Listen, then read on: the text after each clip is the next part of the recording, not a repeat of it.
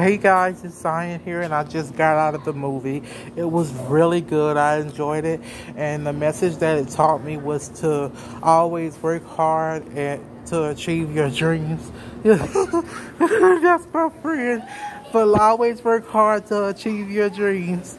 And uh, it taught me to always work hard to achieve your dreams, and and that hard work and persistence and courage will help you to achieve your dreams. So that really, it's the movie really inspired me to work on achieving my dreams, which is to be an actor and writer in the future and be the next Tyler Perry. So I really thank God for that movie, and it was really inspiring. So I'll talk to you guys later. We're going out to eat later.